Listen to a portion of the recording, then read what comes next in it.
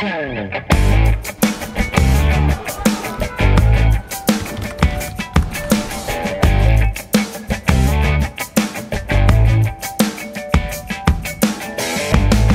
programa de hoje, vamos conversar com Pedro Albuquerque.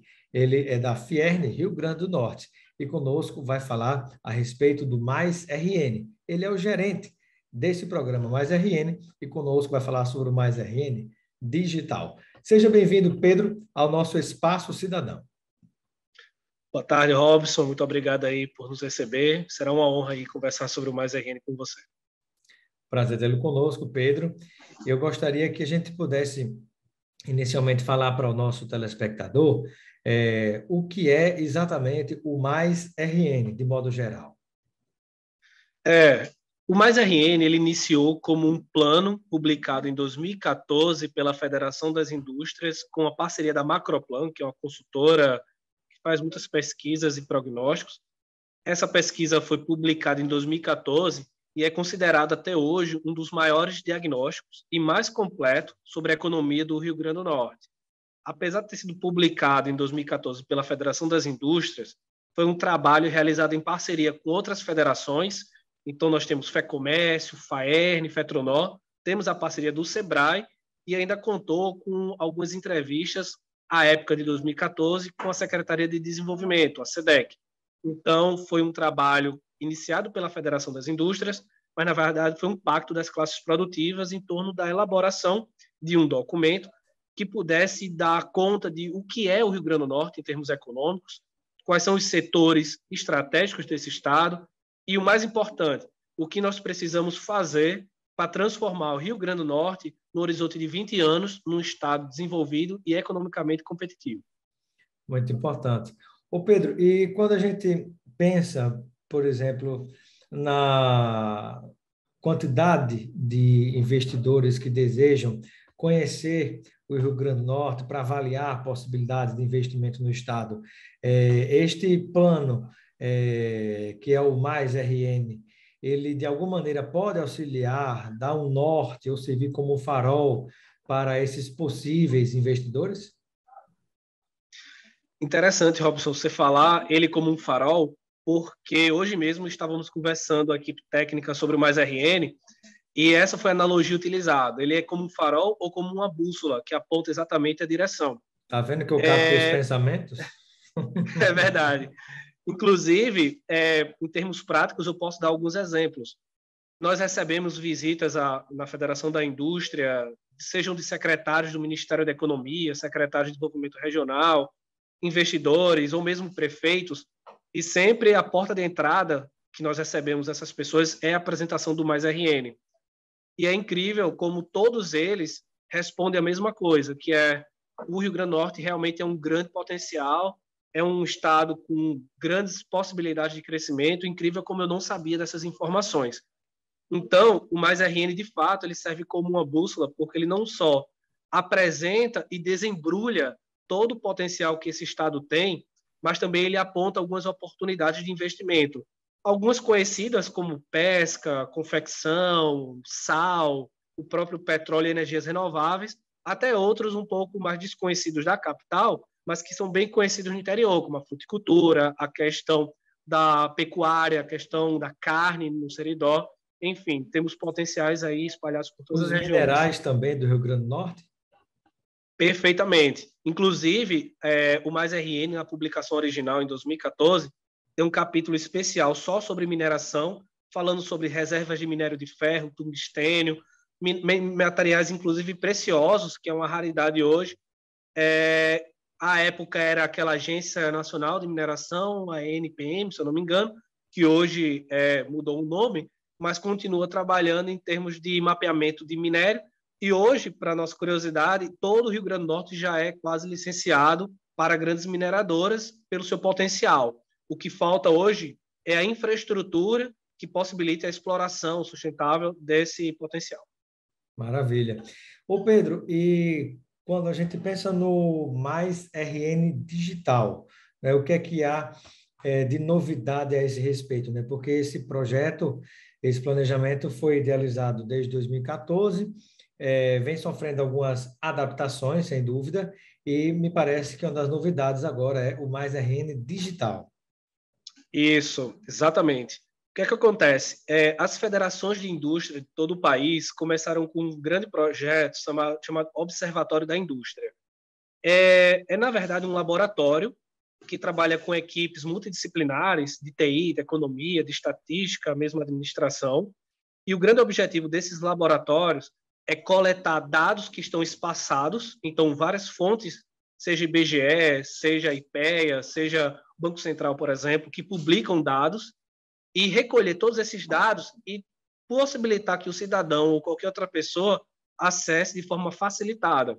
Então, na verdade, é um laboratório de coleta, tratamento e disponibilização de dados. E não são só dados referentes à economia. O observatório da Fierne, por exemplo, nós acompanhamos os dados fiscais, dados de educação, dados de localização de indústria e perfil industrial nos municípios. Então, a ideia do observatório é recolher dados de interesse público e disponibilizar ao cidadão de forma facilitada. Então, algumas curiosidades como como é a evolução da educação do Rio Grande do Norte ao longo dos anos. Isso está disponibilizado através das provas, né? O IDEB, por exemplo, é um indicador de referência. A questão da segurança pública também, através do Atlas da Violência. Nós recolhemos os dados sobre o Rio Grande do Norte e disponibilizamos de forma mais fácil. Dados como recolhimento de ICMS por setor, que é a tributação pública.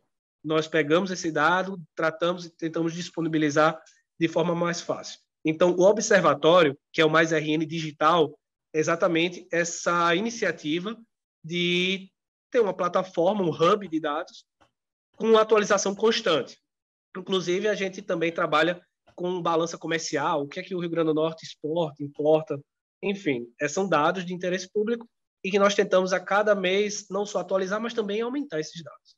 Não deixa de ser um grande catálogo, né? o, o Atlas do próprio do próprio Rio Grande do Norte. Você vai encontrar todo tipo de informação que precisar é, disponível. Né? Sem dúvida, para quem quer investir, né, para quem quer investir, é necessário dados para você planejar, para você se organizar, né, e com certeza esse Atlas ajuda bastante. É, e com relação ao Mais RN é, digital, né, quem é que pode, por exemplo, ter acesso e como é que faz em detalhes para ter esse acesso? Porque a gente pode pensar por exemplo, é, na quantidade de investidores que querem conhecer melhor o Rio Grande do Norte para avaliar investimento.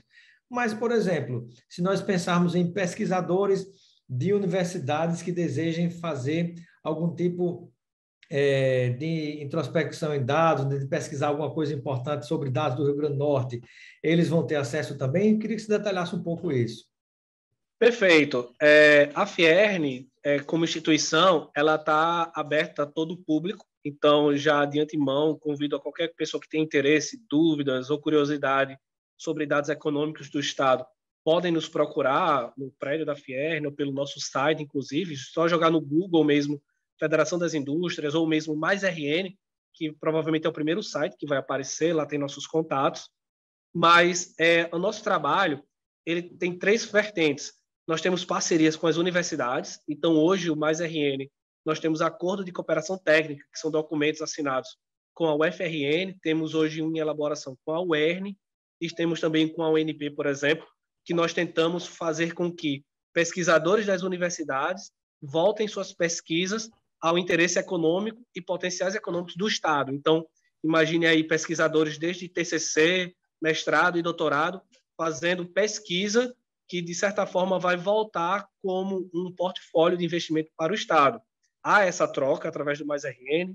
Nós temos outra frente de trabalho que é junto aos governos. Então, nós somos procurados hoje por prefeituras que tentam ter informações sobre seus municípios, possibilidades de investimento, quais são os potenciais do meu município.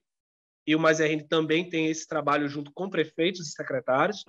Temos com o governo do estado, por exemplo, e também hoje temos um ACT, por exemplo, que é Acordo de Cooperação Técnica, com o Ministério do Desenvolvimento Regional para elaboração de pesquisas, e o nosso foco principal, que é o empresário.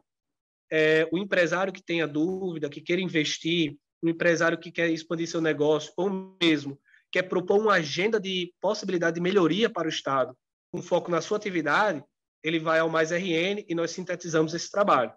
Então, hoje, nós trabalhamos com universidade, com público em geral, jornalistas mesmo, né, que nos procuram para ter informações sobre alguns dados muito específicos. Então, nós estamos aí abertos.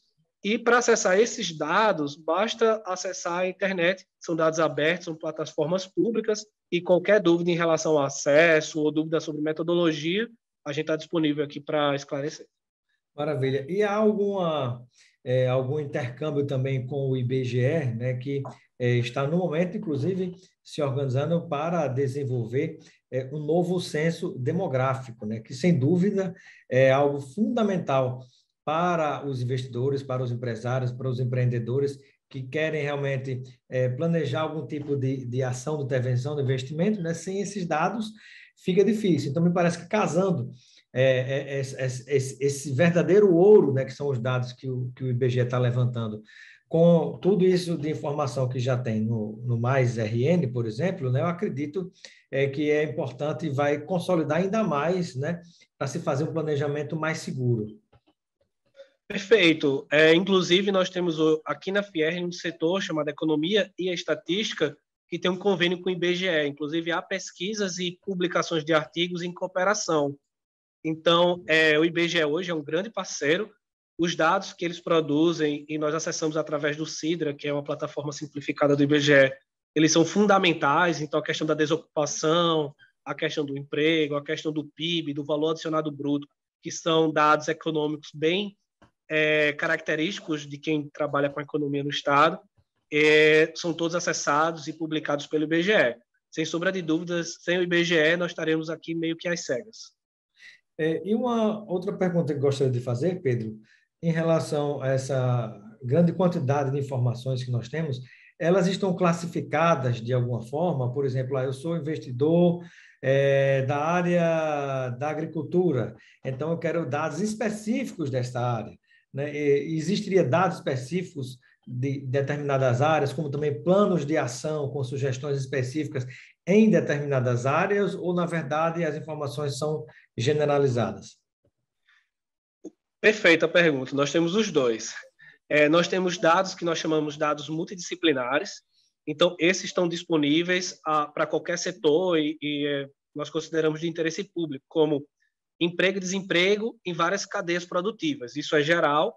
É, se você, de repente, é da construção civil e quer saber como está o emprego e desemprego, você vai na plataforma geral, você vai encontrar esse indicador, como qualquer outro segmento. Agricultura, por exemplo, a gente também acompanha, arrecadação fiscal, até de bares e restaurantes nós acompanhamos através da tributação. Isso vai estar lá no público geral.